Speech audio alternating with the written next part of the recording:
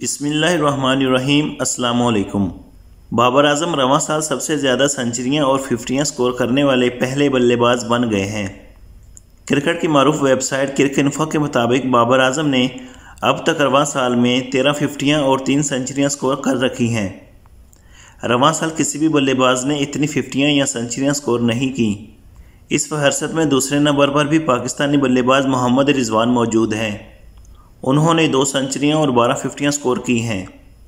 اس فہرست میں بھارتی اوپننگ بلے باز روہت شرما تیسرے نمبر پر موجود ہیں۔ انہوں نے دو سنچریاں اور نو ففٹیاں سکور کر رکھی ہیں۔ اس فہرست میں ویرات کوہلی چوتھے نمبر پر ہیں۔ انہوں نے کوئی سنچری سکور تو نہیں کی، لیکن ان کی ففٹی پلس کی سکور کی تعداد دس ہے۔ جنوبی افریقہ کے بلے باز ایڈن مارکرم ایک سنچری اور نو ففٹی پلس سکور کے ساتھ پانچویں نمبر پر موجود ہیں۔ دوستو، ویڈیو اچھی لگی ہو تو ویڈیو کو لائک کریں، مزید کرکٹ نیوز دیکھنے کے لیے میرے اس چینل کو سبسکرائب کریں۔ شکریہ۔